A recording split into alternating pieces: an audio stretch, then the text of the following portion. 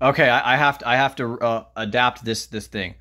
Uh, so so I don't really believe in like reincarnation in that sense anyway. I believe that everything is God and everything is Brahman, and that one soul is not different from another person's soul, and everyone should share like you know our karma is all one anyway, and um, heaven on earth, the realization of Brahman, non-duality, unity consciousness, is the ending of all of this suffering. Uh, to the greatest degree possible, right? I do think that in the future, you know, I want I think that we can have a future where childhood hunger and world hunger in general is completely eradicated. So I told these swamis that I, I hope they reincarnate as starving children. But I don't really know I don't really know if reincarnation is is actually happening.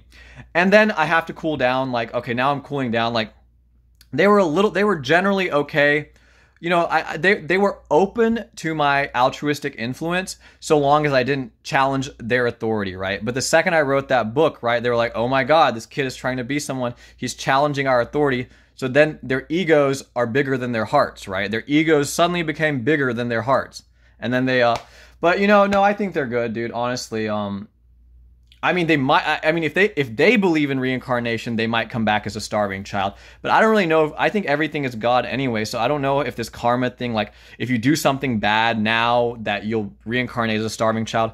I don't think that's necessarily tr- true. So I don't think they're going to come back as a starving kid. They might just they'll they'll go to. I think I think when you die, everything might you just, you might just return to Brahman, the unconditional love love source of existence. And these people are generally de- like they are decent human beings, right? They're not they're, I mean, they're they're decent to good, right? So so there's like really bad, there's like semi bad, there's decent, there's good and there's great. So they're between decent and good, you know. I'm trying I'm I think I'm like trying to go for I, I want I need great people around me because I think I'm going from like good to great right now. I'm, I'm a good human being right now, but I really want to be great and I want to really want to do great things for the world.